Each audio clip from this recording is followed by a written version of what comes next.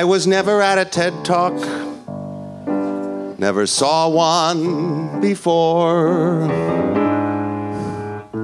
I only heard old Fred talk, and Fred was such a bore.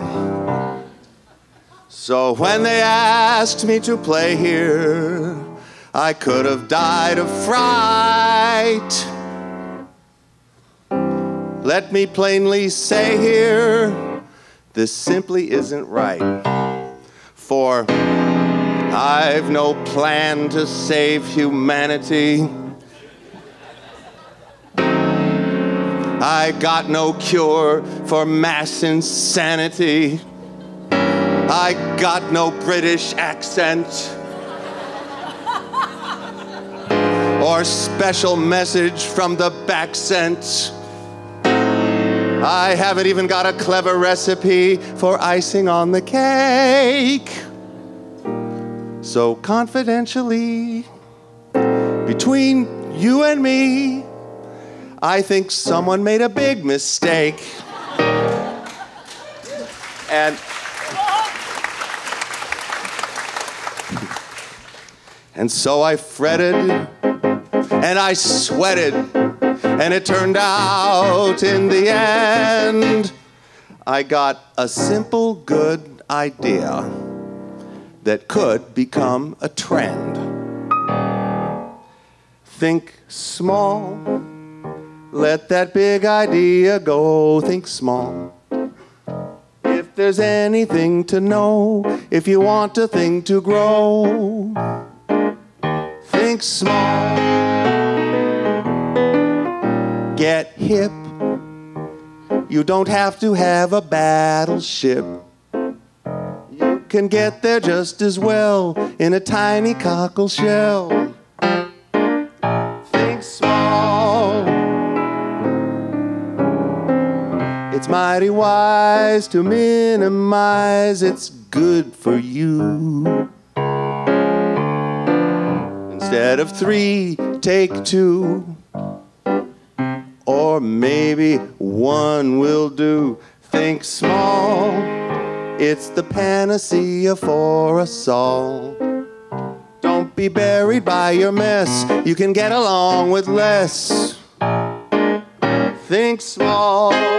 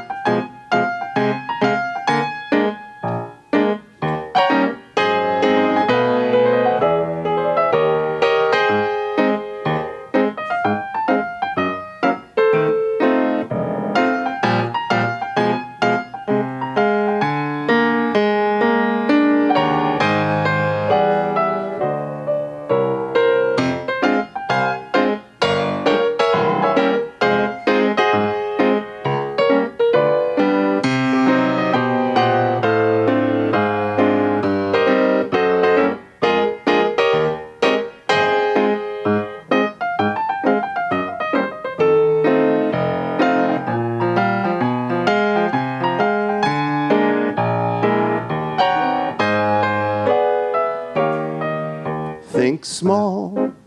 There's no call for you to have it all. When you know you have enough, you can dump a lot of stuff.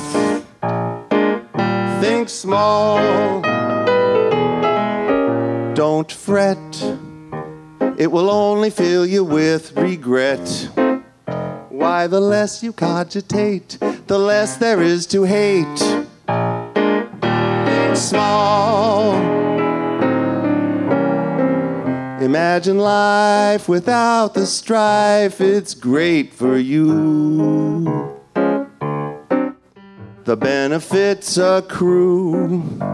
You live to 122. Think small.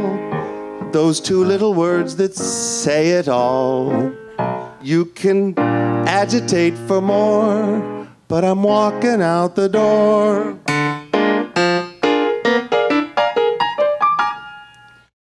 Small.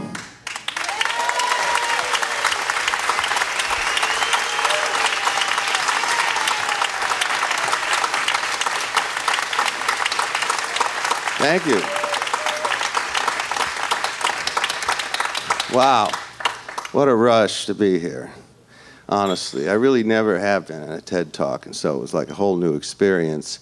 And, uh, and it's especially a challenge for me to, to really to think small because look at this. I'm sitting at a grand piano. It's the biggest object in the room, and I'm supposed to think small, right? Okay, well, anyway, that's a challenge in itself. So, but I'm going to play Oh Lady Be Good by George Gershwin and his lovely wife, Ira.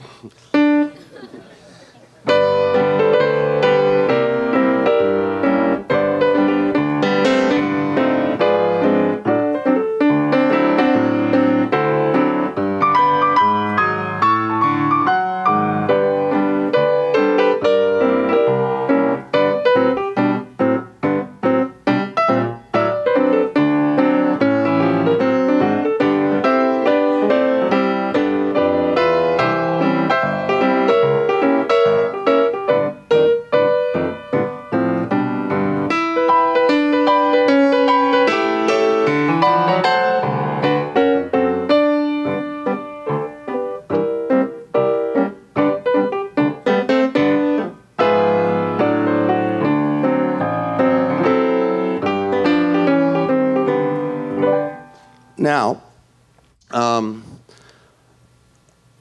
the problem of thinking small is applied to Oh Lady Be Good and this grand piano. Um, now, I don't know, this, this might be a half baked idea. I'm sure it's not original with me. Um, I'm sure that some other composers, like for instance Bach, uh, thought of it first. But the idea is to actually to use only one voice, one melody line in each hand, you see. So it's like playing with two fingers, except I'm using all my fingers, of course, but it's uh, it's, it's like, you know, it's having one melody line in each hand. And that restriction, uh, well, you have to be more creative, you see, at the keyboard. It's, uh, uh, and it's, uh, it, it's, it's a challenge that I'm still working out and will continue to work out even after TED Talks.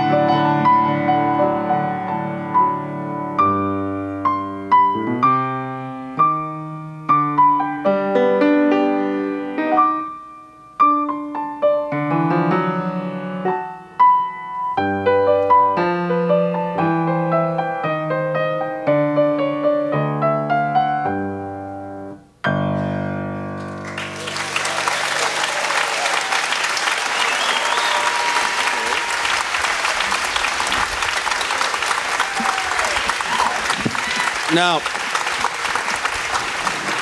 okay. Now, uh, we're not done yet. The problem of thinking small has still not been solved because, uh, again, it's like I could have done so much more with this humongous beast of a piano. It's really, I'm sorry I can't, you know, use all 10 fingers or something or whatever it is.